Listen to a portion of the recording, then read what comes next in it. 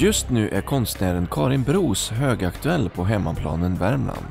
Dels med den här utställningen på Galleri Bergman i Karlstad, men även med en utställning på Kristinehamns konstmuseum under sommaren. Utställningen på Galleri Bergman innehåller så kallade chiclétryck av Karins målningar. Och det är inte första gången som hon ställt ut hos gallerist Mats Bergman. Nej, jag ställde faktiskt ut hos honom för är det 20 eller 25 år sedan. Tiden går så fort. Så det var ju ett bra tag sedan. Och det var väldigt roligt. Det var en jätterolig utställning och en jätterolig fest och så. Och då sa vi det, ja det här måste vi göra om. Men sen åren har ju gått och nu har det gått 25 år så jag tänkte ja, då är det lika bra att göra det nu. Kan du berätta lite grann hur du började din bana inom konsten och det kreativa? Ja du, alltså det har ju alltid ända sedan jag var barn så har det liksom varit eh, att teckna och måla. Att det har varit det som jag har varit mest road av egentligen. Men jag hade aldrig någon tanke på att bli konstnär. Det fanns liksom inte, det fanns inte i mitt huvud för jag blev så präglad hemifrån att ja, konst och så, det ägnar man sig åt på fritiden. Det var samma sak som min mamma, hon målade också på fritiden men blev liksom lärare. Så att, jag hade aldrig en tanke på att utbilda mig till konstnär utan jag tänkte bli veterinär eller något sånt. Men sen var jag ute, sen hade jag träffat Mark eh, 1968 och sen när jag hade tagit student så tänkte jag ja, jag tar ett sabbatsår först och åker ner till Holland. Och, eh, och då när jag var där då satt jag hemma på dagarna och tecknade och målade och sen kom han hem, han jobbade hela dagen och sa men gud varför söker du inte in på konstakademin? Och det liksom, tanken hade aldrig slagit mig förut. Och då blev det så sen att jag sökte in och så kom jag in. Och då liksom, det kändes bara så rätt. Och så blev jag kvar i Holland i fem år. Och ja, sen blev det bara så. Så det var lite grann en slump.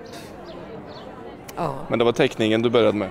Ja, det var teckning. Så att eh, de första åren då tecknade jag nästan jämt. Det var ju liksom det jag var mest road av.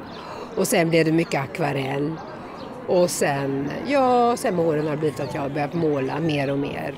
Men nu kan jag längta lite efter akvarell igen. Och eh, den här utställningen då, berätta om de här bilderna. Ja, alltså nu är det ju precis, jag håller på och packar liksom hemma för en utställning i USA. Eh, alla målningar. Och, eh, så att här kan jag ju inte ha några målningar. Och sen dessutom så har jag en gallerist i Stockholm där jag ställer ut måleri så att jag, jag kan inte ställa ut hur jag vill utan nu har jag grafik här. Så att det är en ren grafikutställning som jag ställer ut här. Och, eh, och det är ju många motiv och så som jag har också i, eh, i mitt måleri.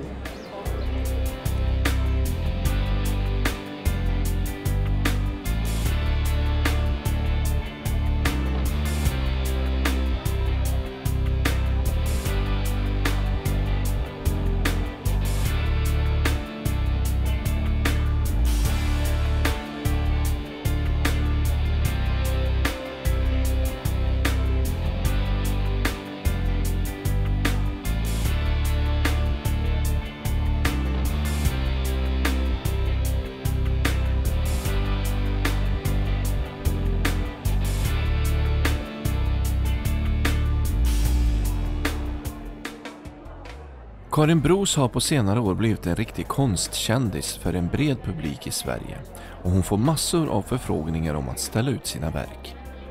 Det stora genombrottet kom med en utställning på Kristinehamns konstmuseum för nio år sedan.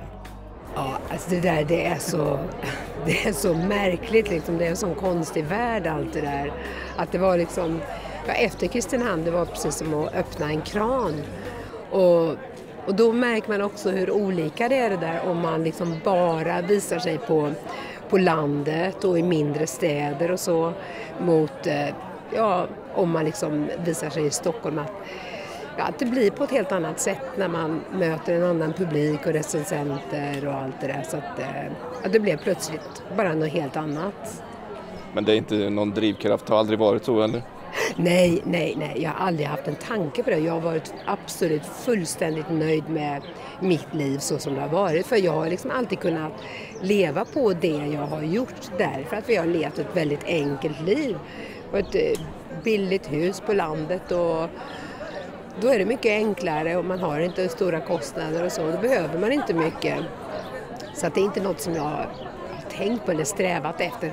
Och jag är liksom inte alls sådär att, eh, att jag strävar efter att bli känd eller all uppmärksamhet utan liksom tvärtom. Liksom, jag har alltid varit så ända sedan jag var liten. Jag tyckte det var hemskt när jag fyllde år och liksom skulle stå i centrum. Och, ja.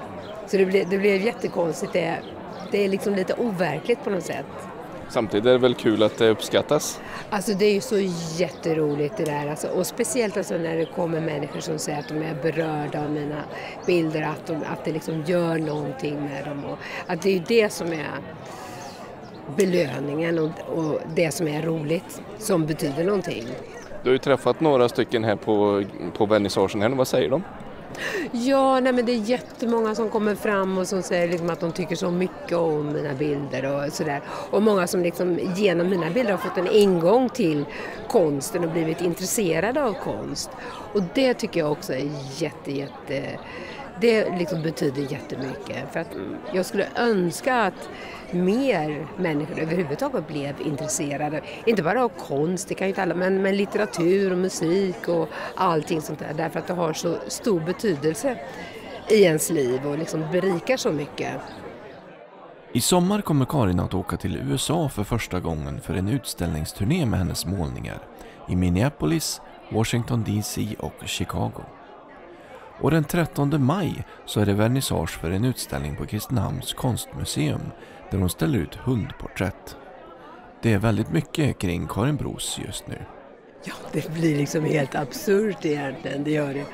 Och det här är Kristina, det är ju målningar som jag gjorde för det känns hundra år sedan. Det är ju, alltså jag är ju väldigt förtjust i hundar. Um, så att jag gjorde ju en serie på hundra hundporträtt för jätte, jättelänge sedan. Så att det är ju de bilderna som kommer att visas. Och tillsammans då med min svär Marks mamma som gjorde katter i keramik. Och sen Mark som har varit eh, florist. Han ska, och när man jobbar som florist så jobbar man väldigt mycket med liv och död. Och den här utställningen kommer att handla väldigt mycket om liv och död. Också med, ja, och hundar och allting i ens liv. Jag menar, det är ändå någonting som är väldigt viktigt för många människor. Mycket det där med hundar, det liksom finns ju inget djur som är så domesticerat som en hund.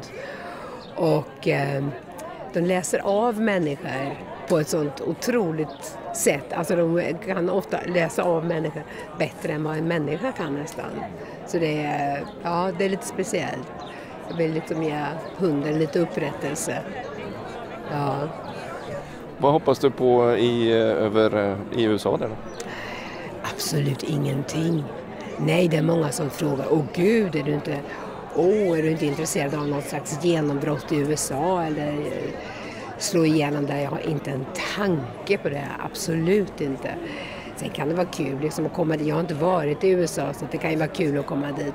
Men jag har absolut inga sådana tankar. Det är ingenting som är viktigt för mig på något sätt. Utan jag vill bara komma hem. Jag tycker egentligen det är hemskt att åka bort på sommaren. Jag vill inte åka härifrån på sommaren. Så det är väl det värsta. Är dina bilder helt obekanta för den amerikanska publiken? Eh, för den amerikanska publiken i stort, ja. ja. Förutom lite amerikanska vänner och så. Som jag har och sådana som kanske jobbar på ambassad i Washington. Och, ja. Men annars så är det ju det. Ja. Ja, det är lite intressant för det är väldigt olika i olika länder hur ens bilder tas emot och så. Att det är stor skillnad faktiskt. Så det är lite intressant. Ja. Och hemma vid i Östra Ämtervik, vad, vad händer där? Blir det något eh, nytt i sommar eller? Ja, ja, ja, ja, ja. Alltså det är ju Stella, vår yngsta dotter, som har tagit över. Och eh, hon har energi och idéer och, och, och har liksom verkligen gjort ett lyft. Det har hänt jättemycket på Almalöv och det kommer bli väldigt mycket aktiviteter i sommar. Och hon satsar också väldigt mycket på barn, konserter och eh, utställningar och workshops och föreläsningar. Och, så det, det kommer bli jättemycket. Vi får kanske ta ett besök? Ja, nej det måste jag absolut göra. Det är jätte, hon har byggt en otrolig eh, shop där till stöd för Mexiko, Mexicana och ja, nej, hon har gjort otroligt mycket. Hon jobbar dygnet runt.